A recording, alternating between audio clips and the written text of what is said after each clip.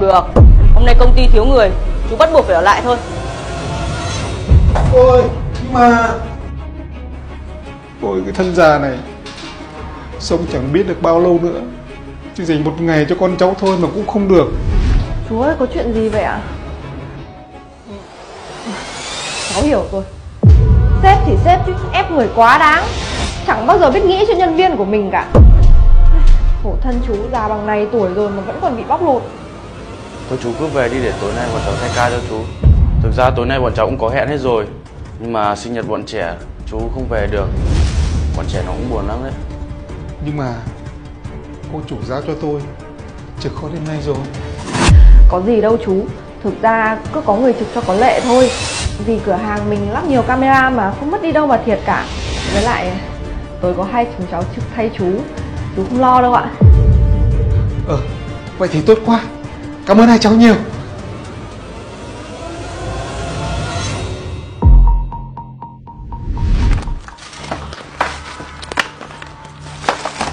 Hôm nay có hai người Chắc là sẽ tuột được nhiều hàng hơn. Vân chiều cũ bán rẻ hơn cả nửa Thì thao lấy tiền tiêu tích Chứ còn gì nữa? Nào xem nào.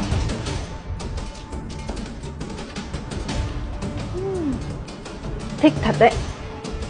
Thảo nào bán rẻ người ta thi nhau mua Nào lấy tiếp về đây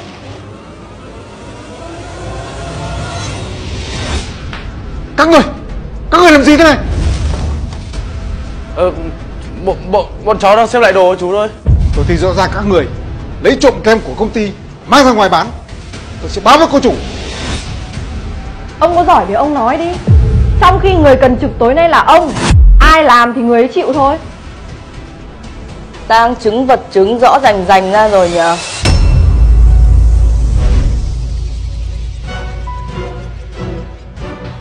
Ô chủ ơi, Hôm nay sinh nhật cháu tôi. Tôi đã báo trước rồi cơ mà. Hàng tuần cả lần trước lẫn lần này, Hơn tỷ bạc Em chạy như vậy, Định để chị gái em gánh hết à?